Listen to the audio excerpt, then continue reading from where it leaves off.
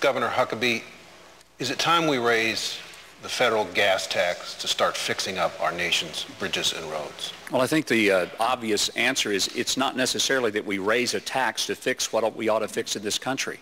We're spending billions of dollars all over our country and around the world. But it may be time that we start spending some of those billions of dollars to deal with our own infrastructure. And the bridge isn't the only problem. Anybody who's flown lately, as I do pretty regularly in the commercial system, know that we have a complete gridlock. And part of that problem is that we've got a system of air traffic control that was designed in 1950, five years before I was born. We've got better navigation systems in our rental cars than we have running the airline industry today. And so, yes, we need to address it. It's not being talked about. And it's our bridges, our interstates, our sewer and water treatment systems. They're crumbling. They're old. We saw an 85-year-old steam pipe explode in the middle of Manhattan recently. And we have to start addressing building this country, Mayor, not everybody else's. Mayor Giuliani, how do you answer? In, in, in Minnesota, Governor Pawlenty, who vetoed a, an increase in his state gas tax, said now he may consider one.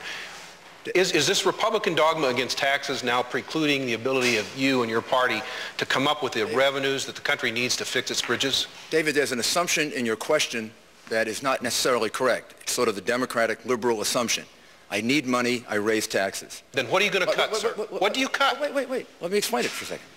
The way, the way to do it sometimes is to reduce taxes and raise more money. For example, this is an example. I, I, ran the city, I ran a city with 759 bridges, probably the most used bridges in the nation, some of the most used in the world. I was able to acquire more money to fund capital programs. I reduced the number of poor bridges from 5% to 1.7%. I was able to raise more money to fix those bridges by lowering taxes. I lowered income taxes by 25%. I was collecting 40% more from the lower in income tax than from the higher income tax. Or I'll give you another example. Senator Edwards last week recommended increasing the capital gains tax from 15% to 28% because he wants more money. Now, Senator Edwards hasn't had much executive experience because the reality is the last time, the last time we raised the capital gains tax, you go back and check it, from 20, uh, from 20 to 28%, we lost $45 billion. There is a liberal democratic assumption that if you raise taxes, you raise money. We Governor. should put more money into infrastructure. We should have a good program for doing it. But the knee-jerk, liberal, democratic reaction, raise taxes to get money, very often is a very big mistake. Governor Romney, do you want to cut taxes to fix more bridges? There's no, there's no, question but that the biggest source of revenue for this country, if you really want to make some money in this country, really get some money so we can repair our infrastructure and build for the future, the biggest source of that is a growing American economy. If the economy is growing slowly, boy, tax revenues hardly move at all. And boy, you better raise taxes to get more money for all the things you want to do. But if the economy, if the economy is growing quickly, then we generate all sorts of new revenue. And the best way to keep the economy rolling is to keep our taxes down. That's why I propose middle-income Americans ought to pay no taxes on their savings. Invest in the future of the economy. Growth helps us provide the revenue that we need. Our bridges, let me tell you what we did in our state we found that we had 500 bridges roughly that were deemed structurally deficient. Senator and McCain. so we changed how we focused our money. Instead of, instead of spending it to build new projects, the bridge to new, nowhere, new trophies for congressmen, we instead said fix it first. We have to reorient how we spend our money. Senator McCain, you about 30 seconds.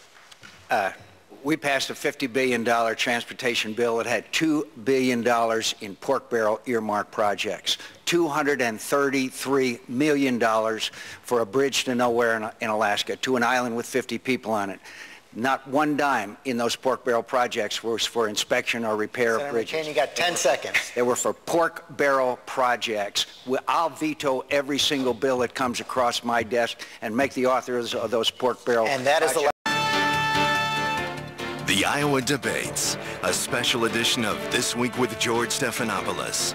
Here again from Drake University in Des Moines, Iowa, George Stephanopoulos. And we are back now for the final half hour of the Republican debate here in Iowa. And we want to start out uh, this half hour with a question that came in over the internet.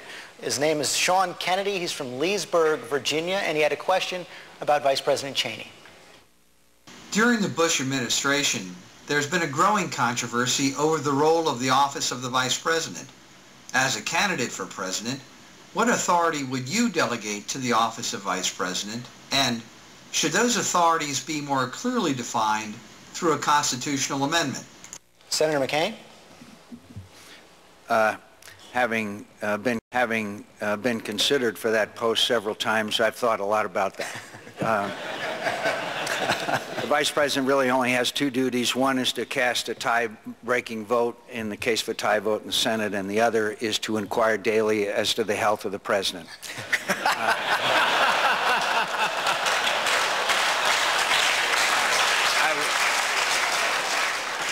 I would, do, I, I, really would do what some presidents have done in the past. Uh, a vice president brings a certain area, area of expertise and talent.